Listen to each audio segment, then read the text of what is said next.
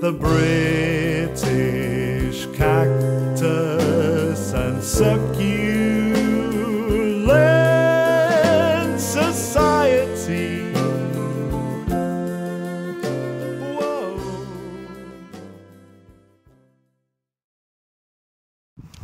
So today I want to introduce to you my favourite genus, which is Aylostera.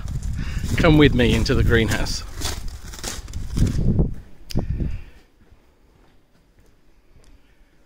So, as we look down here, many of these orange and red flowered plants are Aylosteras. We can really divide them into two sorts. Aylosteras in the strict sense, which tend to be fat, round bodied plants, and then other Aylosteras, which are more finger shaped and are in the subgenus Mediolobivia. So let's have a look first at some of the plants that are in the Aylostera subgenus. The one with the very pink flower there is Aylostera buiningiana. There's a whole set of forms here which are basically Aylostera robustispina and closely related plants. If we move on, there's Aylostera cooperiana and Aylostera, well, I'm not quite sure what to call this, Nogalensis perhaps, or Spinosissima. And then there's Aylostera archibuiningiana there. And then as we move down, we come to plants like Aylostera muscula. And one of my favourites, which is this very soft spined Albipilosa. There's one or two others here. There's Aylostera sumayana and a couple of different fl- coloured flowers on Aylostera flavistyla. Okay, we'll go back up and now look at one or two others. Here's a nice pink one, which is Aylostera narvaecensis.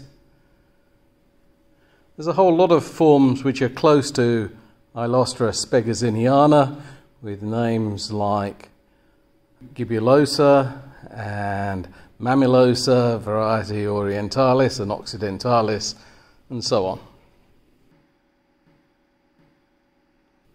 As we move down, we get to one or two slightly unusual plants. That's Aylostera tuberosa. And then there's a couple of big flowered ones here Aylostera tarvitensis. And there's also Aylostera tarigensis next to it. Here's a, another form of tarigensis. Aylostera fusca has quite tight spines, very distinctive flowers, and then a very dark one, Aylostera fulviseta. Aylostera vulpina or walteri is a bit of an odd one out. Aylostera schatzliana is quite a variable species with quite neat spines, green stigmas as you can see. And we move on to Aylostera albopectinata, which looks pretty similar. Usually red flowered, but can be orange flowered. And then a whole load of forms of Aylostera heliosa, which is characterized by very tight spines. Many are red flowered, some are orange flowered, some have got quite dark bodies, some have got quite pale bodies in comparison. This is variety Teresae, which is spinia, or the spines stick out a bit more, perhaps I should say. This is a very unusual white flowered one. And then there are all these very tight spined forms, which, even not in flower, are pretty impressive. We now move on to Aylostera subthutiana, which is quite like Schatzliana. It's a bit hard to tell where one stops and another starts. A few of them have got these very nice stripy flowers, look. We next move on to a whole group of plants which are closely related, which you could say are subspecies of Aylostera atrovirens. Relatively large bodied and large tubercles. Some have got green stigmas, orangey flowers perhaps, rather than deep red. And then we start moving on to forms of Aylostera pygmaea. This is Moodinensis, which has got very large bodies for Aylostera pygmaea and quite pale flowers. This one's a bit special in the flowers are a bit stripy.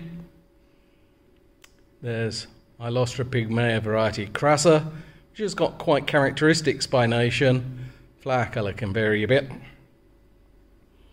There are one or two forms that are quite unusual here. The botanists would have you believe these are all one species, but it's hard to really believe that when you look at the huge variation in them. This one's quite characteristic. Aylostera friedrichiana, or Pygmaea variety friedrichiana. Here's one not quite so floriferous, and you can see it's got very white spines that stick out, quite fat bodies.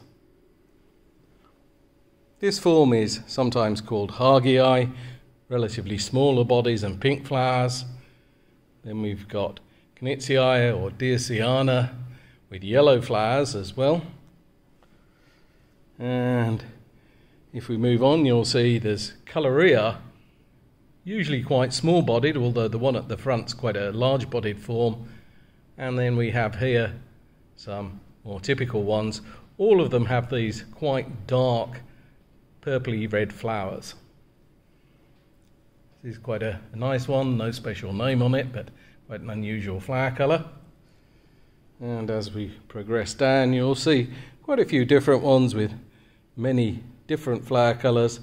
This one was given the name Lanosiflora. A lot of them have woolly bud, buds or flower tubes. This is quite a distinctive form with paler insides to the flowers than outsides. This is Aylostera Pygmaea variety Aurorensis. A new variety here. Some more Aurorensis types there, but also some quite different looking ones here. Quite a few Aylosteras have these straw coloured outer petals, which makes them particularly attractive, I think. Others have paler centres to the flowers, like this one, which again is quite an attractive feature you can see again there's this tremendous variation. We now come on to another set of plants which tend to go under the name of Aylostera steinmannii and related names. The main difference between these and Pygmaea is that the spines tend to stick out more rather than be tightly pressed to the bodies, but otherwise quite similar looking plants. But again, you can see there's quite a big variation in the flower colour.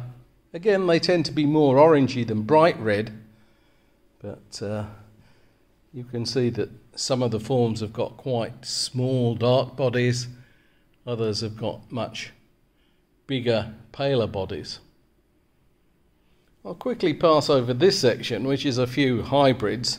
To be honest, hybrids are not my favourites, but uh, I'll show you now one plant that is definitely one of my favourites, and this is a form of oculata or Euanthema, and it's got these very dark stamens, and the flowers are truly superb, with dark outsides to the petals, which go to a lighter colour in the centre. There's quite a few other plants rather like this. This has various names, Euanthema variety tilcarensis or Fischeriana.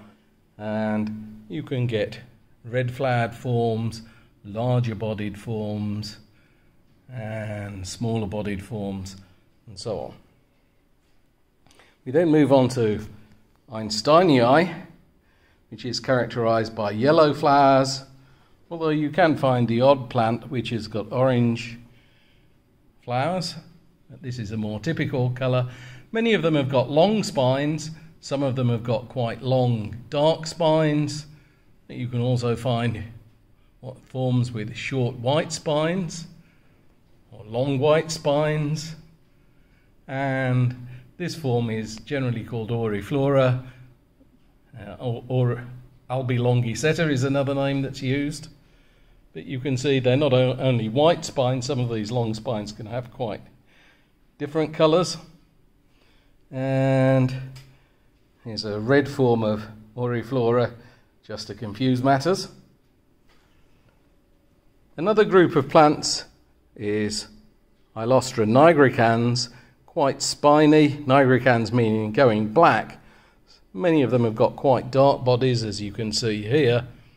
And that's a pretty typical looking plant there. And then finally, a few sort of oddballs that haven't been named or have recently been named.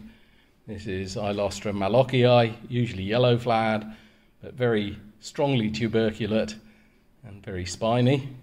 There is a white flowered form. This is Aylostera marrii, and this is a species that doesn't have a name. And that's about it. So, I hope you can see from all those flowers why this is one of my favourite genera. The British cactus and succulent